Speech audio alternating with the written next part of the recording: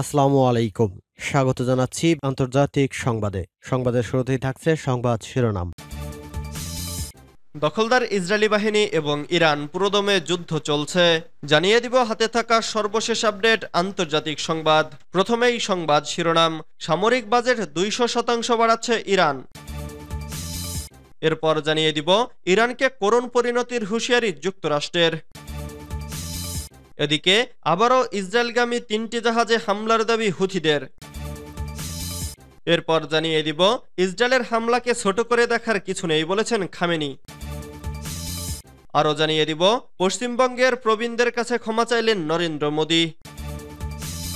সর্বশেষ জানিয়ে দিব, ইহুদিদের ওপর নাৎসিদের জুলুমের কারণে ইসরায়েলে আমরা অস্ত্র পাঠাতে বাধ্য হচ্ছি।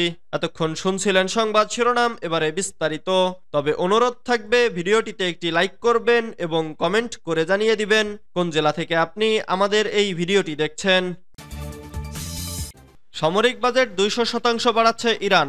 সামরিক বাজেট প্রায় দুইশো শতাংশ বাড়ানোর পরিকল্পনা করেছে ইরান। দেশটির সরকারের মুখপাত্র ফাতেমেহ মেহাজেরানি মঙ্গলবার এ তথ্য জানিয়েছেন। সাম্প্রতিক মাসগুলোতে ইরান ও ইসরায়েলের মধ্যে হামলা, পাল্টা হামলার পর তেহরানের এ ঘোষণা এলো। মেহেজেরানি জানিয়েছেন, পরিকল্পিত প্রতিরক্ষা বাজেট বৃদ্ধি সংক্রান্ত প্রস্তাবের অংশ সরকার অনুমোদনের জন্য সংসদে পেশ করেছে।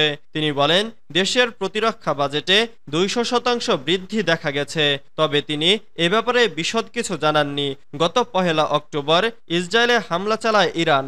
এর প্রতিক্রিয়ায় শনিবার ইরানে ক্ষেপণাস্ত্র হামলা চালায় ইসরায়েল। তেহরান সোমবার জানিয়েছে, তারা ইরানের সামরিক লক্ষ্যবস্তুতে ইসরায়েলি হামলার প্রতিক্রিয়া জানাতে যত ধরনের সরঞ্জাম পাওয়া যাবে তা ব্যবহার করবে। ইরানকে করুণ পরিণতির হুঁশিয়ারি যুক্তরাষ্ট্রের।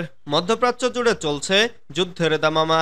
ইরান ইসরায়েলের পাল্টাপাল্টি হামলা ঘিরে উত্তেজনা তুঙ্গে। এমন পরিস্থিতিতে ইরানকে কড়া বার্তা দিল যুক্তরাষ্ট্র। মঙ্গলবার উনত্রিশে অক্টোবর কাতার ভিত্তিক সংবাদ মাধ্যম আল জাজিরার লাইভ প্রতিবেদনে এই তথ্য জানানো হয়েছে। জাতিসংঘে নিযুক্ত মার্কিন রাষ্ট্রদূত লিন্ডা থমাস গ্রিনফিল্ড বলেছেন, যুক্তরাষ্ট্র জাতিসংঘে ইরানকে সতর্ক করেছে যে তারা যদি এই অঞ্চলে ইসরায়েল বা মার্কিন কর্মীদের বিরুদ্ধে আরও কোনো প্রতিশোধমূলক পদক্ষেপ নেয়, তাহলে করুণ পরিণতি হবে। তিনি আরও বলেন, আমরা আত্মরক্ষায় পদক্ষেপ নিতে দ্বিধা করব না। এতে কোনো বিভ্রান্তি না থাকুক। যুক্তরাষ্ট্র আর উত্তেজনা দেখতে চায় না। আমরা বিশ্বাস করি ইসরায়েল ও ইরানের মধ্যে সরাসরি গুলি বিনিময়ের সমাপ্তি হওয়া উচিত। ক্ষেপণাস্ত্র হামলার জেরে ইরানে গত শুক্রবার রাতে ব্যাপক হামলা চালায় ইসরায়েলি বাহিনী। এতে ইরানের চারজন সেনা নিহত হয়েছে। ইসরায়েল দাবি করেছে, তারা ইরানে সফল অভিযান চালিয়েছে এবং তাদের যুদ্ধ বিমানগুলো নিরাপদে ফিরেছে। আবারও ইসরায়েলগামী তিনটি জাহাজে হামলার দাবি হুথিদের। লোহিত সাগর ও আরব সাগরে তিনটি জাহাজে হামলা চালানোর দাবি করেছে ইয়েমেনের হুথি বিদ্রোহীরা। সোমবার আঠাশ অক্টোবর গোষ্ঠীটি বলেছে, এটি ছিল ইসরায়েলের উপর নৌ অবরোধ কার্যকর করার প্রচেষ্টার অংশ। ব্রিটিশ বার্তা সংস্থা রয়টার্স এ খবর দিয়েছে। হুথি সামরিক মুখপাত্র ইয়াহিয়া সারিয়া টেলিভিশনে সম্প্রচারিত ভাষণে বফাইল বলেছেন, ইসরায়েলি বন্দরের উদ্দেশ্যে যাত্রা করেছিল জাহাজগুলো, এজন্য তাদের ওপর হামলা করা হয়। এলএসইজি থেকে প্রাপ্ত সর্বশেষ তথ্য অনুযায়ী হামলার শিকার তিনটি জাহাজই ছিল লাইবেরিয়া নিবন্ধিত। হামলার শিকার জাহাজগুলোর মধ্যে একটিকে মোতারো বলে অভিহিত করেছে হুথিরা।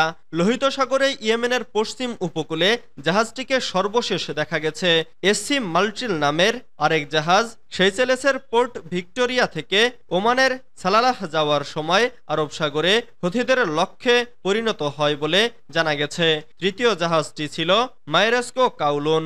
এটি পশ্চিম ভারত মহাসাগর থেকে সালালাহ যাওয়ার পথে হুথিদের হামলার শিকার হয়। ইসরায়েলের হামলাকে ছোট করে দেখার কিছু নেই বলেছেন খামেনি। ইরানের সর্বোচ্চ নেতা আয়তুল্লাহ আলী খামেনি বলেছেন, ইসরায়েলের হামলাকে ছোট করে দেখার কিছু নেই, আবার বড় করে দেখাও ঠিক হবে না। ইরানি কর্মকর্তারা নির্ধারণ করবেন ইসরায়েলকে কীভাবে হামলা চালানো হবে, কীভাবে ইরানের শক্তিমত্তা সেখানে দেখানো হবে।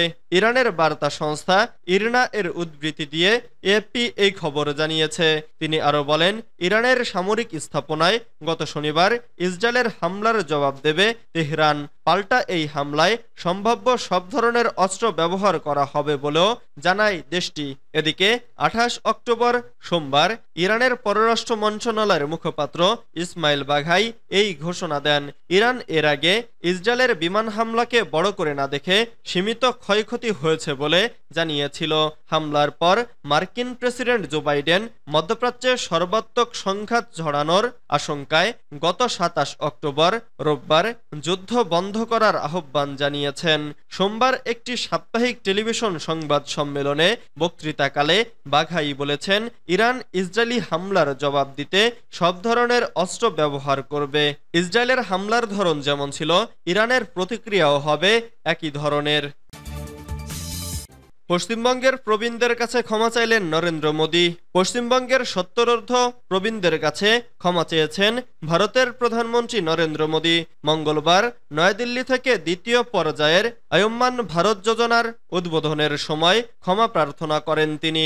মোদী জানান পুরোদেশে আয়ুম্মান ভারত যোজনা চালু করা যায়নি, কারণ নিজেদের রাজনৈতিক স্বার্থ চারিতার্থ করতে দিল্লিতে আম আদমি পার্টির সরকার এবং পশ্চিমবঙ্গে তৃণমূল কংগ্রেসের সরকার সেই প্রকল্প চালু করতে দেয়নি, যার ফলে দেশের বাকি অংশের সত্তরোদ্ধ প্রত্যেক নাগরিক যে আয়ুম্মান ভারত যোজনার আওতায় থাকলেও দিল্লি এবং পশ্চিমবঙ্গের মানুষ সেই সুযোগ থেকে বঞ্চিত হচ্ছেন। তৃণমূল এবং আপ সরকার রাজনৈতিক স্বার্থে সেই কাজটা করলেও মানুষের কাছে ক্ষমা চেয়ে নেন ভারতের প্রধানমন্ত্রী নরেন্দ্র মোদী। মোদী বলেন, দিল্লি এবং পশ্চিমবঙ্গে সত্তরোদ্ধর যত প্রবীণ মানুষ আছেন, তাদের কাছে ক্ষমা চেয়ে নিচ্ছি।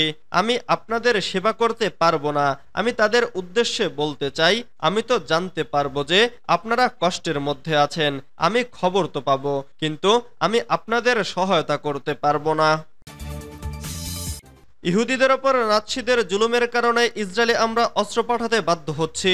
জার্মান পররাষ্ট্র মন্ত্রণালয়ের সরকারি পরিসংখ্যান অনুসারে এই দেশটি গত তিন মাসে ইহুদিবাদী ইসরায়েলে প্রায় নয় কোটি চল্লিশ লাখ ইউরো, যা দশ কোটি এক লাখ ডলারের সমতুল্য সামরিক সরঞ্জাম রপ্তানি করেছে।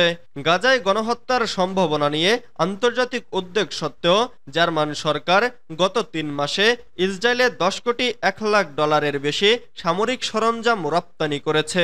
পার্সটুডের মতে, বৃহস্পতিবার প্রকাশিত এই তথ্যে দেখা যায় যে জার্মান সরকার ইসরায়েলে অস্ত্র রপ্তানির অনুমোদন দিয়ে এই ক্ষেত্রে তার নীতির সম্প্রসারণ ঘটিয়েছে। জার্মান পররাষ্ট্র মন্ত্রণালয়ের সরকারি পরিসংখ্যান অনুসারে এই দেশটি গত তিন মাসে ইসরায়েলে প্রায় দশ কোটি এক লাখ ডলার মূল্যের সামরিক সরঞ্জাম রপ্তানি করেছে। এই পরিসংখ্যানগুলো বামপন্থী দল বুন্ডানিস সাহরা, ওয়াজেক নেচট এর এক প্রশ্নের জবাবে প্রকাশ করা হয়েছে। অঙ্কের এই পরিমাণ প্রায় দ্বিগুণ, যা গত সপ্তাহে জার্মানির অর্থনৈতিক বিষয়ক মন্ত্রণালয় এই দেশের সংসদের অর্থনৈতিক কমিটির কাছে রিপোর্ট করেছে।